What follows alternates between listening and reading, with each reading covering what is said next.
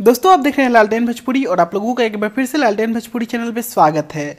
दोस्तों, खेसारी लाल यादव के मैनेजर विवेक सिंह ने फेसबुक के माध्यम से एक पोस्ट डाला है फेसबुक पे और दोस्तों, पोस्ट का स्क्रीनशॉट आप लोग देख सकते हैं। दरअसल उन्होंने पवन पांडे जी से वीडियो कॉल पर बात किया है और दोस्तों, आप लोगों को पता होगा कि खेसारी लाल यादव भारत में वापस आ चुके हैं। उनके मुंबई वाले घर से ये फ़ोटो भी निकल कर आया है, जिसे आप लोग देख सकते हैं। तो दोस्तों, विवेक सिंह जी ने लिखा है न्यू ईयर सॉन्ग एंड डोली में गोली मार देव थ्री कुछ खास बात पवन पांडे भैया के साथ।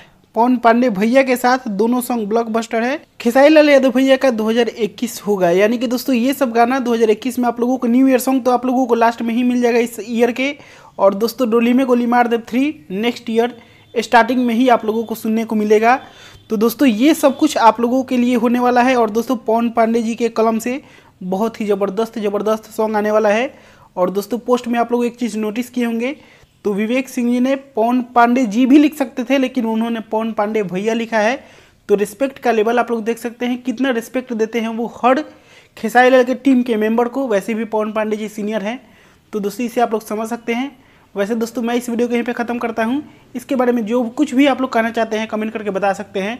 मैं मिलूँगा आप लोगों से नए वीडियो में, तब तक के लिए जय हिंद, जय भोजपुरी।